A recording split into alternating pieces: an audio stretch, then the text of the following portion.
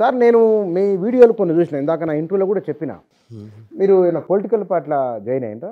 అంటే political party అనేటటువంటిది కాదు బట్ తెలంగాణ ఉద్యమ సమయంలో ఏదైతే ఉద్యమ స్ఫూర్తి ఉందో తెలంగాణ అంటే ఏదైతే ప్రేమ ఉందో తెలంగాణ ముందుండాలనేటటువంటి ఒక ఆశయం కావచ్చు ఆశ కావచ్చు మనం అందరికంటే చాలా గొప్పగా ఉండాలనేటటువంటి అంశం మాత్రమే నాలో ఉంది తప్ప భవిష్యత్తులో రాజకీయాలు ఎట్లుంటాయి ఏం కథ అనేది తెలియదు కానీ తెలంగాణ బాగుండాలనేటటువంటిది తెలంగాణకు ఎవరన్నా హాని చేస్తే దాని మీద స్పందించడం అనేటటువంటిది తెలంగాణలో మంచి జరిగినా దాని గురించి గొప్పగా మాట్లాడడం చెడు జరిగితే తక్షణం దాన్ని ఖండించడం అనేటటువంటిది ఒక ఉద్యమ కాలం నుంచి నాకు వస్తున్నటువంటి విషయం. అదే సందర్భంగా గత తొమ్మిదిన్నర సంవత్సరాలుగా ఉన్నటువంటి పరిపాలనలో కూడా జోనల్ వ్యవస్థ మీద అయితేనేమి అదేవిధంగా తెలుగు బలవంతంగా ఇంటర్మీడియట్లో రుద్దడం అయితేనేమి తర్వాత తెలంగాణలో ఉన్న ఆర్థిక పరమైనటువంటి విధానాలు కానీ లేకపోతే తెలంగాణలో ఉన్న విద్యాపరమైనటువంటి విధానాలు కానీ విద్యా విధానం పైన ప్రభుత్వం ప్రకటించినవి చేయకపోవడం కానీ విద్యా వైద్యాన్ని గాలి కొదిలేయటం కానీ ఉద్యోగ ఉపాధ్యాయ కార్మికులను పూర్తిగా తాబేదారులుగా లేక ఏమాత్రం కూడా పట్టించుకోపోవడం కానీ ఇటువంటి అనేక తాబేదారులుగా తాబేదారులు అంటే? అంటే ఉద్యోగ ఉపాధ్యాయ కార్మికులు అనేటటువంటిది తెలంగాణ ఉద్యమంలో కీలకమైన పాత్ర పోషించారు. రాజు ఏం చెప్పిండంటే ఉద్యమ కాలంలో మీరు మేము భుజం భుజం కలిపి పనిచేసినాము. ఈ రాబోయేటటువంటి తెలంగాణ అభివృద్ధిలో కూడా మనం భుజం భుజం కలిపి పనిచేయాలి. మీరు మేము కలిస్తేనే ఈ రాష్ట్రం ముందుకు పోతుందని చెప్పారు. రాజెవరు రాజు అంటే కల్వకుంట్ల చంద్రశేఖరరావు గారిని నేను రాజుగానే భావిస్తాను. ఆయన ఒక ముఖ్యమంత్రిగా ప్రజాస్వామ్యము ముఖ్యమంత్రి. ఇది బహుశా నా దృష్టిలో అంతకాదు. నిజాం కంటే చాలా మూర్ఖమైనటువంటి రాజుగా నేను భావిస్తాను. చాలా పెద్ద పెద్ద పదాలు వాడుతున్నారు.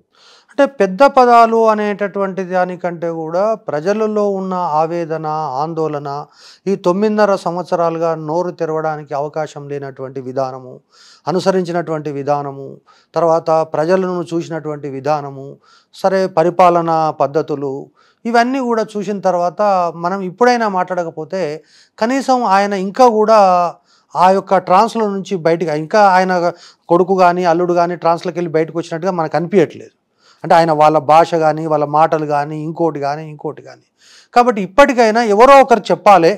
సరే రాజకీయ నాయకులు చెప్తున్నారు కానీ వాళ్ళకు ఇన్ని విషయాల మీద అవగాహన లేకపోవచ్చు ఏదో పొలిటికల్ స్టేట్మెంట్స్ ఇవ్వచ్చు. కానీ ఒక క్రమ పద్ధతిలో ఆయా తొమ్మిదిన్నర సంవత్సరాల పరిపాలనను దగ్గర నుంచి చూసిన వ్యక్తిగా విశ్లేషించినటువంటి వ్యక్తిగా ఆర్థిక శాస్త్ర విద్యార్థిగా లేదా సామాజిక శాస్త్రాల పట్ల అధ్యయనం ఉన్నటువంటి వ్యక్తిగా అదేవిధంగా మీలాంటి జర్నలిస్టులతో సత్సంబంధాలు ఉన్నటువంటి వ్యక్తిగా ఆ తొమ్మిదిన్నర సంవత్సరాల యొక్క చీకటి రోజులను కనీసం మనం ఆవిష్కరించకపోతే కనీసం వాళ్ళు ఇప్పటికీ కూడా మేము చాలా గొప్పగా చేసినాం అనేటటువంటి విషయంలోనే అదే దాంట్లో మైకంలో ఉండే అవకాశం ఉంటుంది వాళ్ళ కళ్ళు తెరిపిద్దాం అనేటటువంటిది నా యొక్క ప్రయత్నం. చీకటి రోజులని తాబేదారులని అంటే వీరు మీతో వాళ్ళతో మీరు బాగున్నప్పుడు ఏ సమస్య లేదు.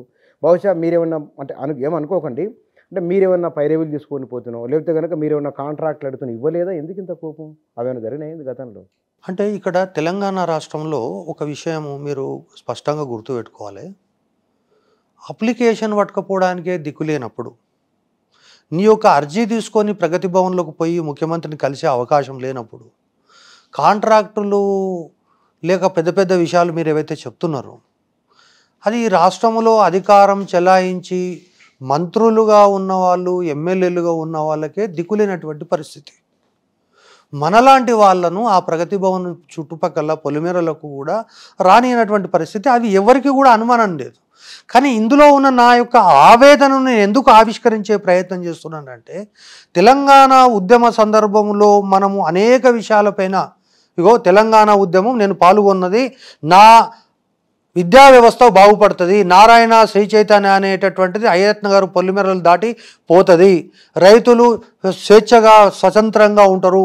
తర్వాత ఉద్యోగ ఉపాధ్యాయ కార్మికులు ఏవైతే రెక్కాడితే కానీ డుక్కాడని ఉద్యోగ సంఘాలు ఉద్యోగ నాయకులు ఉన్నారో ఈ జీతాల కోసము బీఆర్సీల కోసము ఎదురు చూసి రకరకాలైనటువంటి ఇబ్బందులు సంపన్న వర్గాలు ఏదో కొంత కొత్త ఆశించినాయి. దా- దాంట్లో ఒకటి తెలంగాణ వచ్చిన తొమ్మిదిన్నర ఏళ్ళ కాలంలో అసలు ఏమి మొత్తం చీకటి రోజులు ఏమీ జరగలేదు అని అని అనడం న్యాయమైందేనా? అంటే ఒకటి నేను చాలా స్పష్టంగా మీకు చెప్తున్నా. తొమ్మిదిన్నర సంవత్సరాలలో నీళ్ళు నిధులు నియామకాలు అనేటటువంటి అంశం పైన కానీ లేదా కాళేశ్వరం అనేటటువంటి ఒక ప్రాజెక్టు ప్రపంచంలోనే ఆసియాఖండంలోనే చాలా ఎత్తైన నీటి నుంచి అసలు శివుడు ఒక భగీరథుడు లేకపోతే ఇంకోటి ఇంకోటి. ఎందుకంటే ఇక్కడ తెలంగాణ రాష్ట్రంలో స్పష్టంగా మనం అర్థం చేసుకోవాల్సింది ఇది ఒక కేసీఆర్ మోడల్. దీన్ని తెలంగాణ మోడల్ అని తెలియని వాళ్ళు అంటారు కానీ ఓన్లీ కేసీఆర్ మోడల్ కానీ మనం చూడాలి. అది డైనింగ్ టేబుల్ గురించి మాట్లాడినా లేదా మోండా మార్కెట్ గురించి మాట్లాడినా లేకపోతే విద్యా వ్యవస్థ గురించి మాట్లాడినా నా మనుమడు మా ఎల్లయ్య మనుమడు ఒకే దగ్గర చదవాలని ఆయన చెప్పిన విషయమైనా లేదా నా చెమట రక్తము దారపోసి కాళేశ్వరం కట్టిన అని ఆయన చెప్పినటువంటి విషయాలైనా ఈ రాష్ట్రములో ఉండేటటువంటి బుద్ధిజీవులు కానీ ఈ రాష్ట్రంలో ఉండే ఇంజనీర్లు కానీ ఉపాధ్యాయులు కానీ విద్యావేత్తలు కానీ లేదా చివరాఖరికి ఇంజనీర్లు కానీ ఎవ్వనికి కూడా నోరు తెరిసేటటువంటి అవకాశం లేనటువంటి పరిస్థితి. ఎవడు కనీసం సలహాదారులు కూడా వాళ్ళ కారు బంగ్లా తప్పితే ఏ ఒక్క సలహాదారు కూడా ఈ రాష్ట్రంలో పనిచేయలేదు. ఈ రాష్ట్రంలో మంచి జరిగిందంటే కేసీఆర్ చెడు జరిగిందంటే కేసీఆర్.